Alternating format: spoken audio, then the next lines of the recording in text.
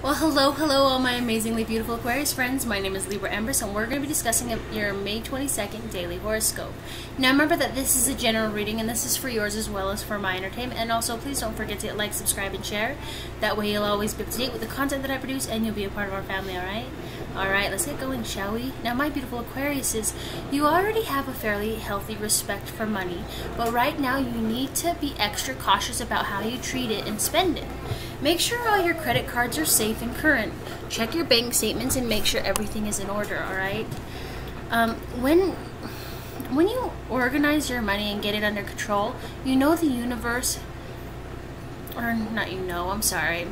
You show the universe that you can handle the responsibility of having more money and it might just send, you know, some your way. Ooh, that's really awesome.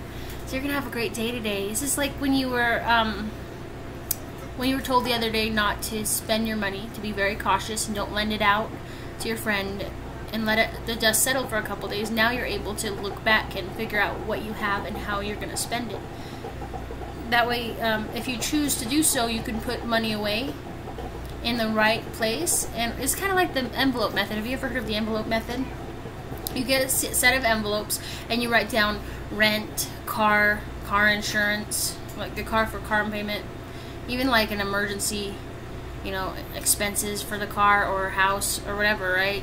You just you put that and then you put like miscellaneous or vacation and you split up your money, the unused money that you have and it'll over time accrue, right? Because you're being frugal and you're being smart about it because you know what? Life is like obviously like the game life and Monopoly. Shit happens.